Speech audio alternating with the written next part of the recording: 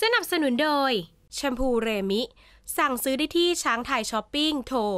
0923524448 เคยเห็นแต่หนุ่มบอสธีรพงศ์ในโหมดนักร้อง ล่าสุดมีโหมด ใหม่แล้วค่ะ เป็นโหมดพิธีกร จะเป็นรายการแบบไหนอะไรยังไงไปฟังกันเลยค่ะ ก็บ้าๆบอๆไปกับพิธีกรผมอะเพราะว่ามันเป็นรายการชิวๆอะไรอย่างเงี้ยสบายๆไม่ได้แบบซีเรียสอะไรมากมายอะไรอย่างเงี้ยก็ยังไงฝากติดตามด้วยครับ The Sixth สัมผัสที่6ครับเป็นรายการที่เกี่ยวกับพวกแบบเอ่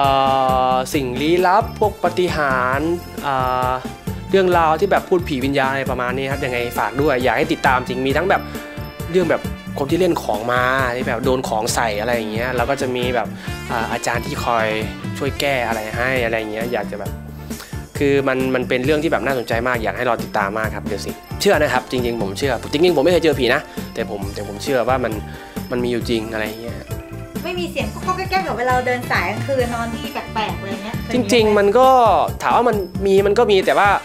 คือเราเราเจอแต่พวกเสียงเราไม่ได้เราไม่ได้เจอเป็นพลังงานแบบเป็นคนแล้วมายืนได้จะมาหลอกกันนะไม่เราเคยเจอแบบเอ่อก๊อกน้ำมันน้ำมันไหลเองอย่างนี้ก็มีประตูแบบอยู่ดีก็แบบมีคนมาเคาะอะไรอย่างเงี้ยแต่จริงๆพอเปิดแล้วก็ไม่มีคนอะไรอย่างเงี้ยส่วนมากจะเจอในรูปแบบนั้นซะมากกว่าครับ เรากลัวไหม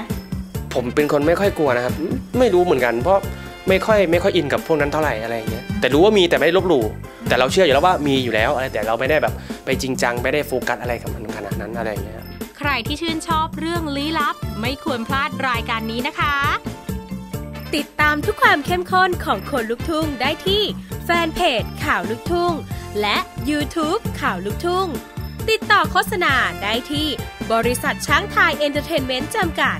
นึกถึงลูกทุ่ง นึกถึงช้างไทย